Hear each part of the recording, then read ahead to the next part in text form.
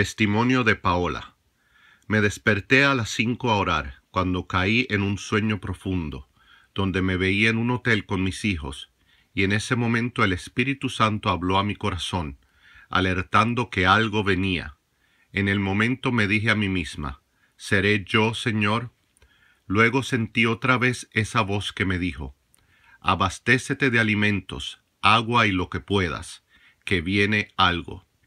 Luego en ese momento escuché un estruendo bien fuerte que venía del cielo, pero fue algo que nunca antes yo había escuchado, fue algo fuerte, y el sonido fue tan y tan alto que me retumbó en el oído, y sonó dos explosiones fuertes.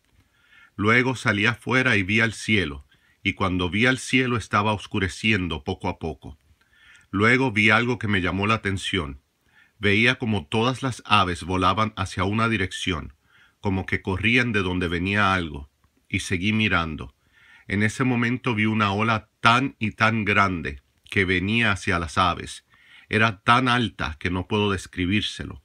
En ese momento sentí al Espíritu Santo que me habló y me dijo, Vete, viene el mar.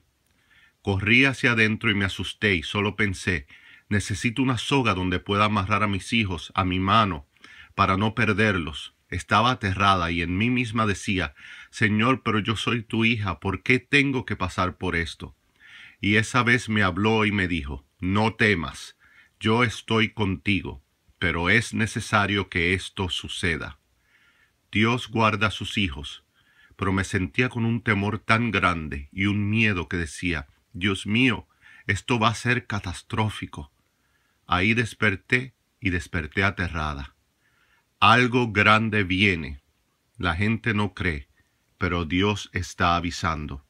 Dios les bendiga. Esto me ocurrió en la madrugada.